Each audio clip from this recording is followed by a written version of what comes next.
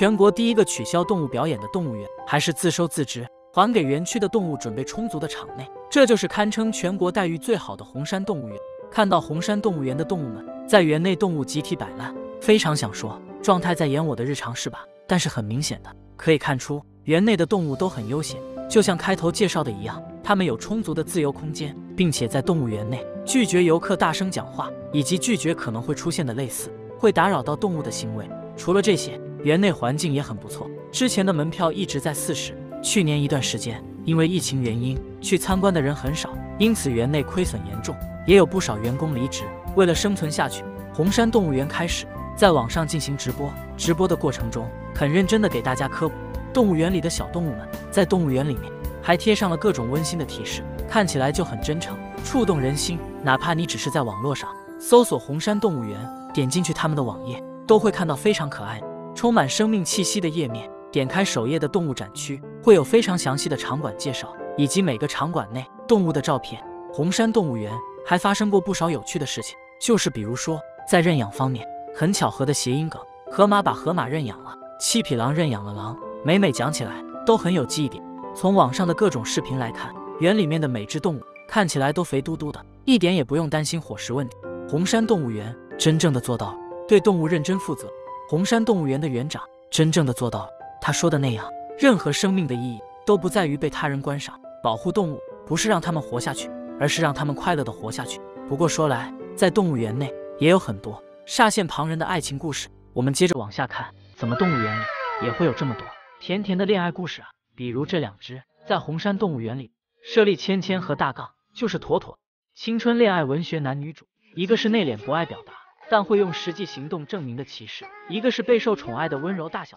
两只猞猁从小青梅竹马一起长大，见证彼此的幼稚和青春，互相陪伴在身边。虽然说很多时候人类很难分辨出相同种类的动物，但这两只猞猁站在一起，一眼就能看出来哪个是芊芊，哪个是大杠。虽然说在面对游客的时候，大杠会很努力维持自己高冷猞猁的气质，但当看到芊芊时，仍一秒破功。如果遇到烈日高照，大杠会站得比芊芊高。贴心的为妹妹遮挡太阳的光线，好妹妹你放心睡，有问题大杠我扛着。这么漂亮的芊芊，我要是大杠我也心动。当然，偌大的动物园里肯定不止一对情侣，黑豹里昂和小布也很好磕。里昂性别公，爱好干饭干饭干饭。刚来到红山动物园的时候，每天除了干饭就是晒太阳，似乎豹生里面没有什么能让他感兴趣。直到看到漂亮豹妹小布，好像第一次知道，原来一只豹的心跳也可以如此剧烈。如此难以抗拒，两只黑豹互相试探，查看对方的心意。小布就这样闯进他的世界，两只豹子相看对眼，从此再也容不下其他豹。他们在五个月之前就已经合笼成功了，开启甜蜜幸福时光。里昂专心给小布舔毛，此后我的食物都给你吃。虽然爱情很甜蜜，但是这两只可是黑豹，看起来就很酷。虽然不仔细看，只能看到身上好像纯黑一样，但其实人家黑豹真的是有花纹的，就是不明显而已。除了这几只，红山动物园里面还有不少恩恩爱爱的夫妻。拜托，怎么动物比人还好磕呀？什么都磕，只会营养均衡。来，我请你喝酒。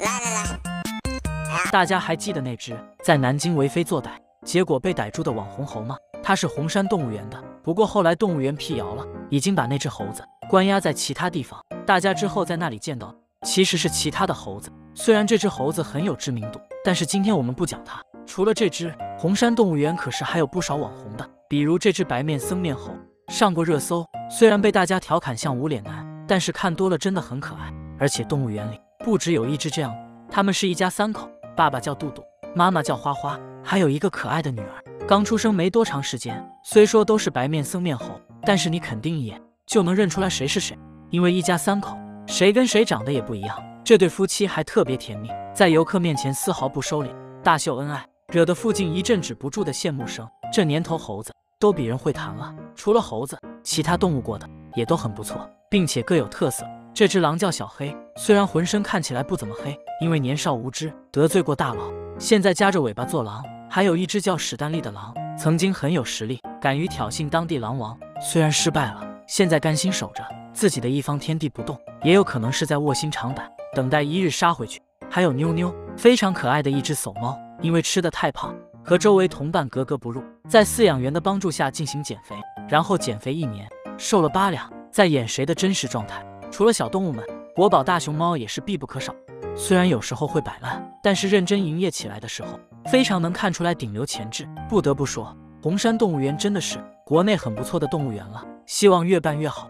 好了，今天的节目就到这里，各位观众老爷有什么看法，欢迎留言，我们下期再见。